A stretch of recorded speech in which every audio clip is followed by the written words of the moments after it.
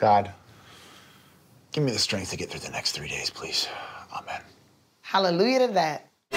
Today, the government announced an initiative to have Americans sign something they are calling the Patriots Oath. The deadline for signing is the day after Thanksgiving. This is not the America that I know. Christopher, we said we're not talking politics. I'm not going to ruin Thanksgiving, I promise. Rest assured.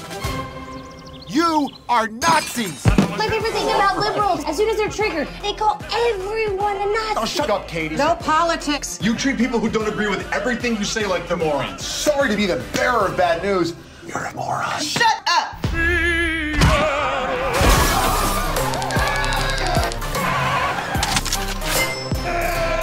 I came back to get some tires. Holy shit! My house, bitch! Hey, I want it just one more time, Sam. I'm really sorry you got tased. I don't know if this because it's the electricity in my body, but I am freaking out.